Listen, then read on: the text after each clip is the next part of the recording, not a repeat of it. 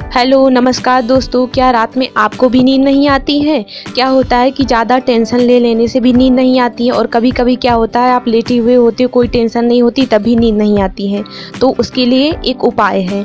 आज के बाद से आप कोई टैबलेट मत खाइएगा, कोई नींद की गोली मत खाइएगा, क्योंकि अगर नींद की गोली आप लेना चालू कर दोगे तो वो जीवन पर्यंत खानी ही पड़ेगी।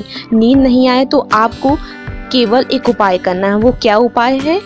आपको हाथ में, यानी हथेली में अपनी थोड़ा सा साफ़ जल लेना है और अपने पलंग पर बैठ जाना, हाथ में जल लेकर पलंग पर बैठ जाना। और उसके बाद क्या करना है?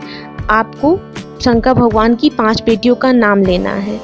पहला क्या लेना? हाथ में जल लेकर के हथेली में बोलना है, जया, विषहर शामिल बारी देव और दोतली। इन पाँच कन्याओं का नाम लेकर आचमन कर लीजिए और आराम से आँखें बंद करके लेट जाइए।